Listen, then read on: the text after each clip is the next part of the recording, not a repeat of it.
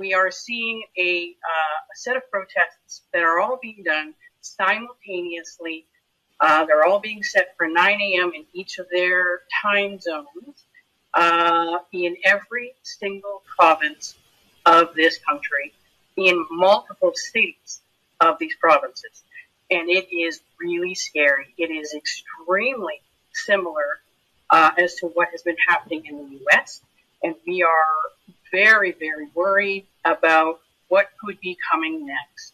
Um, we are um, wanting to show a very strong response uh, countering these protests to show that, you know, they even think that there's a possibility of bringing what's happening other places here. We're going to be there to counter it every single uh, step of the way. When they are gathering for their uh, for their uh, tailgate party in the mall parking lot, we've got a couple seasoned activists who are who've already said that they're willing to go over and you know take some pictures of license plates and take like these are people who are willing to do this. Um, they're people who are seasoned and uh, and make sure that they know that they're being watched, that they're not doing this in secret, that people are noticing what they're what they're up to.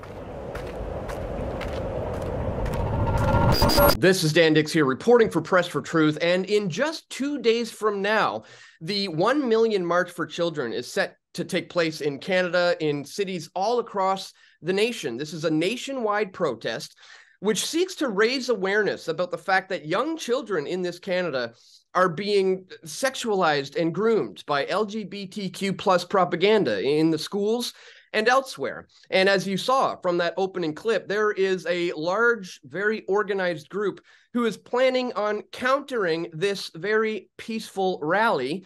So, joining me on the line right now to discuss this and much, much more is Kameal L Shaiek. He is the main organizer behind this event. Kameal, thank you so much for taking some time to speak with us here on Press My for pleasure. Truth. Now, I want to get your views, obviously, on uh, this leaked video where a lot of these union members and others are, are speaking about organizing a counter protest against this. But before we get into that, maybe you could start us off what, what this rally is all about in the first place. How, how, how did this come about and why did it come about?